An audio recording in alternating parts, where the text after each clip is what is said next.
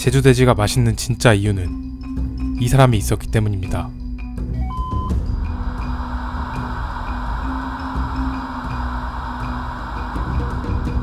안녕하세요 여러분. 2019년 올해는 기해년 황금돼지의 해입니다.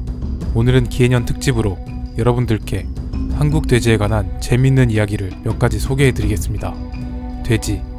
돼지는 다산과 재물의 상징이죠 한 번 새끼를 낳으면 이렇게 10마리 이상을 낳고 또 자라는데 시간도 오래 걸리지 않아 팔면 돈이 되기 때문입니다 우리는 흔히 돼지라고 하면 보통 이런 돼지를 생각할 겁니다 하지만 한국의 토종돼지는 원래 이렇게 생기지 않았습니다.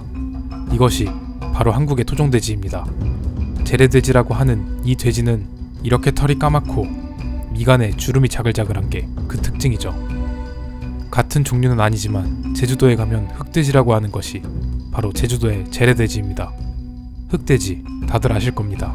이 흑돼지는 천연기념물 550% 지정돼 있습니다. 흑돼지 아주 맛있죠. 천연기념물인데 어떻게 먹었냐고요? 천연기념물로 지정된 제주 흑돼지는 제주축산진흥원이 사육 중인 260여 마리만 천연기념물로 보호하고 있는 것이고 나머지 애들은 먹어도 상관이 없는 약간의 잡종인 것입니다. 그렇기 때문에 천연기념물을 잡아먹는다고 양심의 가책을 느끼지 않으셔도 되겠습니다.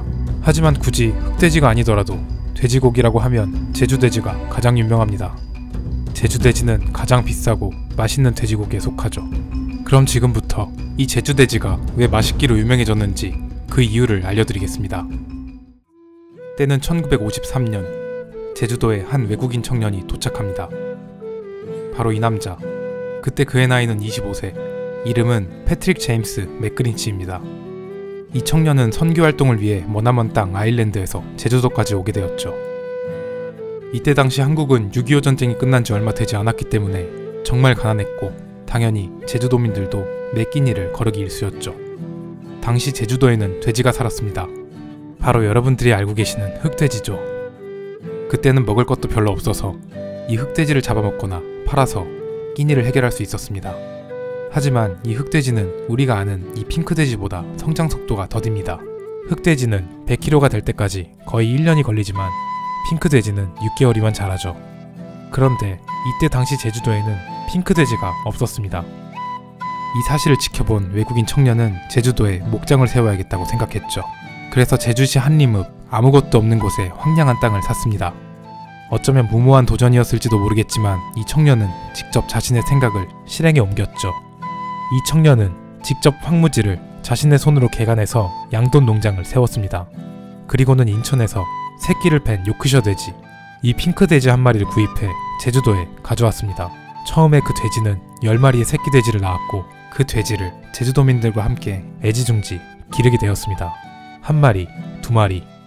늘어난 돼지들은 결국 15,000마리까지 늘어나 이 목장은 아시아 최대의 양돈 농장이 되었고 이 돼지를 외국에 수출까지 하게 되면서 양돈 사업은 굶주렸던 제주도민들을 먹여 살리는 톡톡한 효자 노릇을 할 수 있게 되었죠.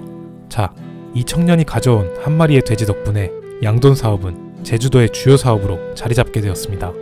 여기서 잠깐 최근 이야기를 좀 하겠습니다. 여러분들이 요즘 먹는 돼지는 삼원 교잡종입니다. 이런 식으로 교잡을 하여 잡종을 생산해냈고 이것이 지금 여러분들이 먹는 한돈입니다. 한돈은 한우와는 다르게 우리나라의 전통 돼지가 아니고 그 품종이 무엇인지도 명확하게 알 수 없지만 대부분 이 삼원 교잡종을 쓴다는 것만큼은 확실합니다. 같은 품종의 돼지이면 맛이 거의 고만고만한 게 사실이지만 그 중에서도 특히 제주돼지가 맛있는 이유를 설명해 드리겠습니다. 이처럼 크게 번성한 제주도의 양돈 사업은 세월을 거치며 점점 더 고급화되었고 그 수준이 매우 높아졌습니다. 그러한 이유 때문에 제주돼지는 전국 돼지 중에서는 유일하게 정부에서 지정하는 지리적 표시제에 지정이 되었죠. 지리적 표시제는 쉽게 말해서 그 고장의 특산물과 비슷한 개념입니다. 이렇게 지리적 표시제에 특산물로 지정이 되면 축산진흥원은 엄격하게 그 품질을 관리합니다. 한마디로 말해서 제주도의 좋은 자연 환경과 그리고 뛰어난 기술력을 가진 양돈 사업에 정부의 엄격한 관리까지 받기 때문에 품질이 좋고 맛있는 돼지가 생산이 되는 것입니다.